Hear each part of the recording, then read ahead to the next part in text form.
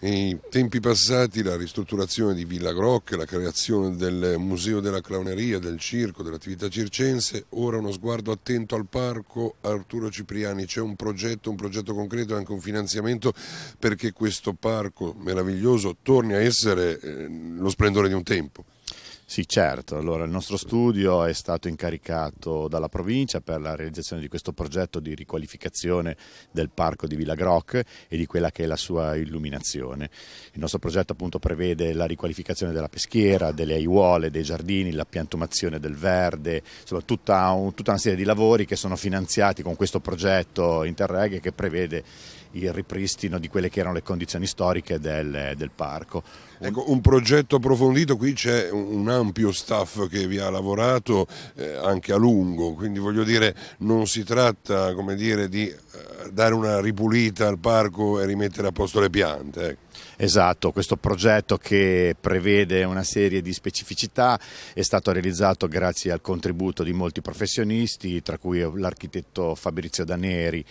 che si è occupato della parte architettonica, Alessandro Bonaldo che è quello che si è occupato di tutti gli aspetti correlati con le immagini, le riprese, i voli aerei, con i droni eccetera, l'ingegner Agostino Amoretti che si è occupato degli aspetti illuminotecnici e il geometra Lorenzo Fanzone che si è occupato degli aspetti correlati appunto con eh, la realizzazione dei disegni, dei CAD,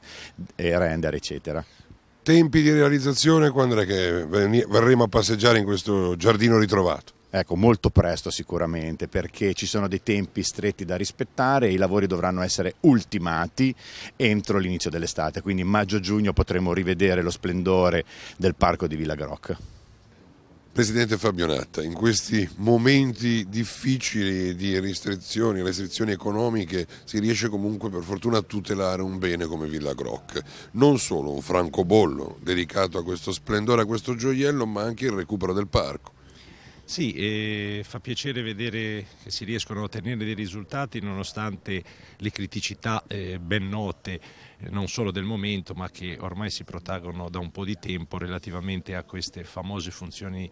eh, soppresse della provincia, tipo quelle relative al turismo e alla cultura. Noi abbiamo ancora dei beni importanti, tra questi Villa Groc, e stiamo facendo di tutto perché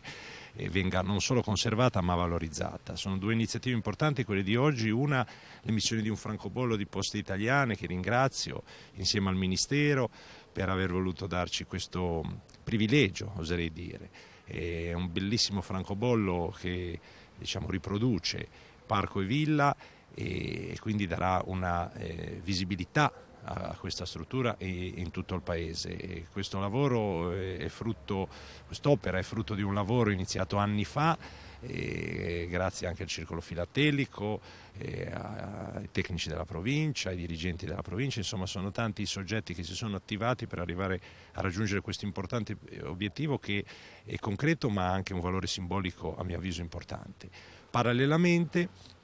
e illustreremo il eh, progetto Giardival eh, con lo studio Cipriani che lo sta eh, curando. Il progetto Giardival relativamente a Villa Groc eh, prevede il recupero del parco, dell'impianto eh, diciamo così, elettrico molto originale elaborato da Groc eh, quasi ormai un secolo fa e nonché appunto della, della parte vivaistica, diciamo della parte eh, relativa alla flora del parco, anche questa molto, molto particolare e molto importante. È un progetto comunitario che ci vede partner insieme a altri due parchi della provincia di Imperia, tre parchi del, del PACA e abbiamo ottenuto un finanziamento importante che sfiora i 200.000 euro, i lavori inizieranno a breve, dovranno concludersi entro l'estate, anche questo può essere un buon biglietto da visita per, per Villa Grocco, per il suo parco e, e una speranza per il futuro eh, che credo che Villa Grocco abbia e meriti di avere.